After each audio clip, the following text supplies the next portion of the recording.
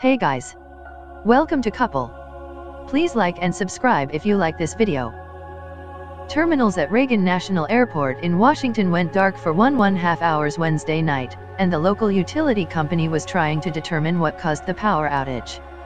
The blackout was reported about 9.45 p.m. EDT, said Andrew Trull, a spokesman for the Metropolitan Washington Airports Authority.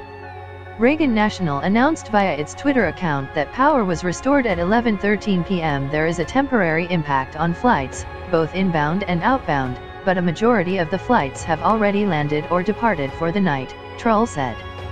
A passenger told NBC Washington's Shomari Stone during an unlit interview that she just flew in from Los Angeles.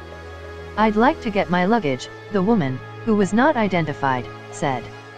It's out there somewhere.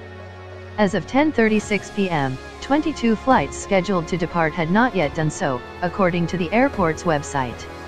But shortly after that NBC Washington reported that flights were operating again. Trull said the airport's main two power feeds, supplied by Dominion Energy, were temporarily down, but emergency lights were powered by backup generators. Dominion spokesman Chuck Penn said utility workers were troubleshooting a cause.